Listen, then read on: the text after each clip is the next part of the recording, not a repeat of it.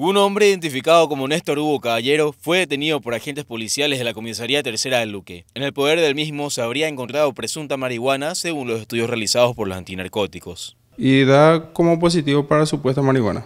Para supuesta marihuana.